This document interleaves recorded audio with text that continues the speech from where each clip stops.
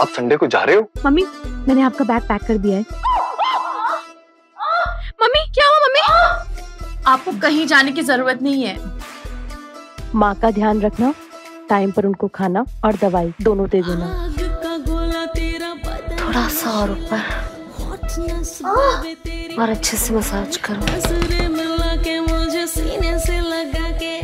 मेरे दर्द का इलाज भी करोगे या ऐसे तड़पता हुआ छोड़ दोगे हाँ? ऐसे नहीं चलेगा मोहन बाबू। आपको ये शाही टुकड़ा हमारे साथ बांटना ही पड़ेगा हर राज की कीमत होती है मोहन बाबू। क्या तुम सच में चाहते हो कि मैं तुम्हारे दोस्त के साथ ये सब करूँ?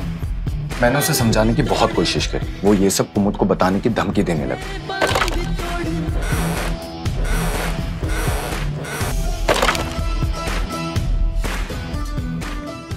अरे आप अ, दामाची तो अभी घर पर नहीं है, बाहर गए हैं।